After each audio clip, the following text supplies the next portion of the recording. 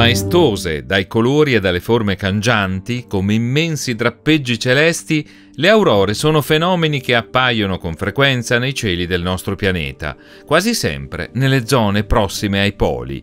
Ad accenderle è una pioggia invisibile e continua che investe il nostro pianeta, un flusso di particelle che ha un'origine ben precisa, il Sole, la nostra stella.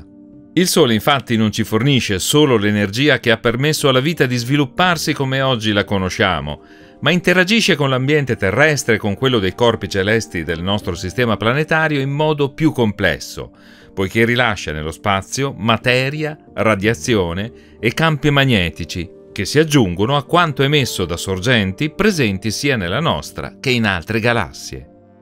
La disciplina che studia il tempo meteorologico dello spazio, in inglese Space Weather, ha il compito di monitorare l'attività del Sole e studiare le interazioni delle sue emissioni con pianeti e corpi celesti del Sistema Solare, in particolare nell'ambiente terrestre, con l'obiettivo di riuscire a prevederne i possibili effetti negativi e mitigarli.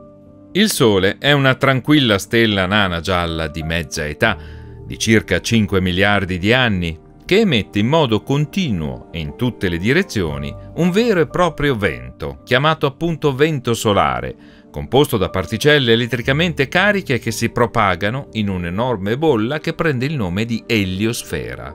L'eliosfera, che può essere pensata come la regione di spazio in cui il Sole fa sentire i suoi effetti, ingloba tutti i pianeti del Sistema Solare e anzi ne delimita gli stessi confini.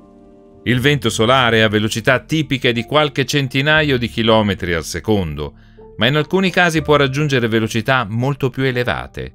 Le particelle che lo compongono impiegano qualche giorno per percorrere i circa 150 milioni di chilometri che separano il Sole dal nostro pianeta. Quando arrivano in prossimità della Terra, il campo magnetico, che ci avvolge come un invisibile guscio protettivo, devia la loro traiettoria, lasciandole scivolare tutto attorno. Una piccola parte viene però incanalata verso i poli, dove interagisce con gli atomi e le molecole presenti negli strati più alti della nostra atmosfera. Questa interazione produce anche luce, è così che prendono forma le aurore polari, i loro tipici colori ci danno indicazioni sulla specie chimica che li produce. Il verde dall'ossigeno atomico, il rosso dall'ossigeno molecolare, il blu dall'azoto.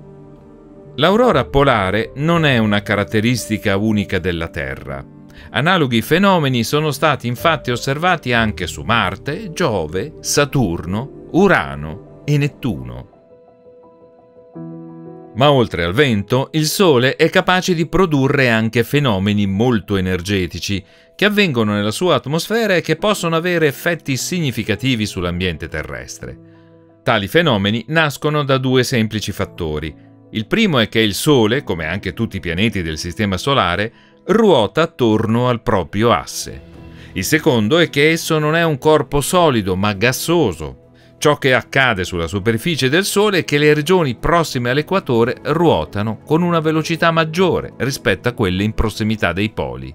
Così, il debole campo magnetico prodotto dalla dinamo interna del Sole viene deformato e le sue linee si comprimono e attorcigliano, generando intensi campi magnetici localizzati nelle macchie solari.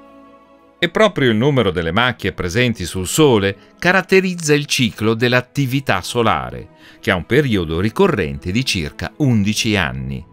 Un basso numero di macchie solari indica una fase di scarsa attività, mentre un numero elevato è indice di una fase molto attiva. Questa proprietà, facilmente ricavabile dalle osservazioni, è legata al fatto che le macchie solari possono rilasciare energia magnetica durante i brillamenti cromosferici, i cosiddetti flare, con accelerazione di particelle ed emissioni di radiazione elettromagnetica, dai raggi X alle onde radio. Un brillamento solare di media potenza, nell'arco di 10 minuti può liberare un'energia pari a 100 miliardi di volte quella prodotta dalla bomba atomica sganciata su Hiroshima. Anche enormi bolle di plasma, le cosiddette emissioni di plasma coronale, possono venire accelerate verso i pianeti, il cui campo magnetico, laddove esiste, viene compresso originando tempeste magnetiche. Queste bolle, che tipicamente hanno una massa di 20 miliardi di tonnellate di gas allo stato di plasma, possono eccezionalmente impiegare anche meno di un giorno per coprire la distanza Sole-Terra. L'arrivo di queste potenti emissioni solari, siano esse radiazioni, particelle o bolle di plasma, può perturbare l'ambiente terrestre in vario modo. Oltre alle aurore polari, le perturbazioni di origine solare nella ionosfera terrestre modificano la qualità delle comunicazioni radio, ad esempio rendendo problematico l'uso della localizzazione con sistemi GPS. Inoltre, intense correnti elettriche ionosferiche possono indurre notevoli correnti elettriche aggiuntive negli elettrodotti, innescando così blackout elettrici.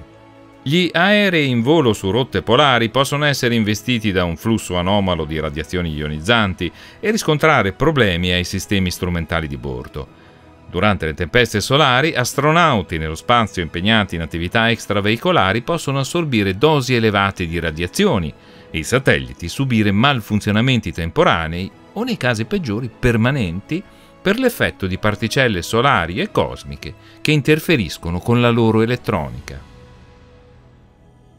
In un mondo sempre più interconnesso, con servizi legati allo spazio tramite satelliti, come sistemi di posizionamento globale, comunicazioni radiotelevisive, traffico dati, monitoraggio della Terra e delle attività meteorologiche, conoscere in tempo reale l'insorgere sul Sole di fenomeni potenzialmente critici per la Terra e prevederne il loro effettivo impatto con il massimo anticipo possibile può essere fondamentale per mitigarne gli effetti, mettendo in campo tutte le contromisure possibili. È questo l'ambizioso obiettivo della meteorologia dello spazio, una scienza relativamente nuova, ma che grazie al lavoro di ricercatrici e ricercatori in tutto il mondo e ai dati raccolti da strumenti sempre più numerosi e sofisticati, siano essi in orbita o sulla Terra, sta facendo passi da gigante.